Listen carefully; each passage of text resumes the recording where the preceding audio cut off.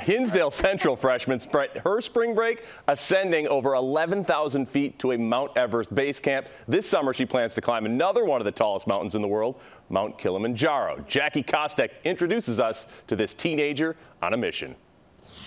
Saanvi Mylavarapu has a message. We don't need to save the planet, we just have to stop spoiling it. And ambition. My goal is to summit Mount Everest before I graduate high school. As a high school freshman, Saanvi's passion for exploring the planet and protecting it is already informed by years of experience, visiting her first national park at six years old. We randomly ended up going to Mammoth Caves National Park, and my mom loved it. And then after that, we went to Arch Arches National Park and a couple other national parks in Utah.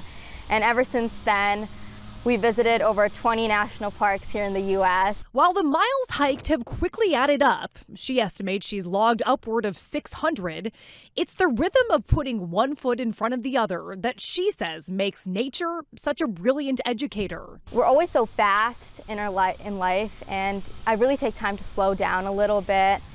And of course, there's highs and lows on every hike, but I feel like once I get back, I don't remember any of the lows. I always remember the great views, though, and that I experienced. Saanvi says she's never experienced lows like on her most recent adventure, hiking to Mount Everest Base Camp and summiting Kala Patthar at 18,550 feet. I didn't have insulated shoes, so my feet froze, so I was in a lot of pain going up. But when Saanvi and her family made it to the top, we saw the first sunrise on Mount Everest, and the sunrise literally hits the peak of Mount Everest. It's so beautiful and it just makes everything worth it. It's moments like this Saanvi wants to share through her social media series Saanvi Speaks, inspiring others to not only fall in love with the planet, but work to protect it.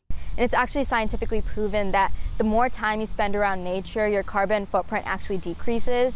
So my whole perspective is go outside and explore the planet to your fullest extent and just learn from nature just like Saanvi has. Jackie Kostek, CBS 2 News.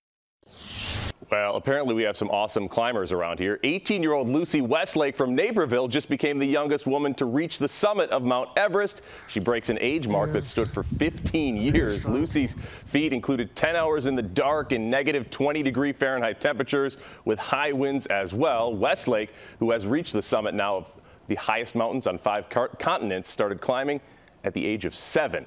And Lucy does distance running at altitude to help with her training, while Saanvi does a lot of indoor rock climbing. Both of these young women motivated and killing it in the world of mountain climbing. Wow, we need to live vicariously through them because negative 20, I'm not going anywhere near that. Yes, I'm not living that. Vicariously is a great idea. I have a hard time climbing the stairs. Right.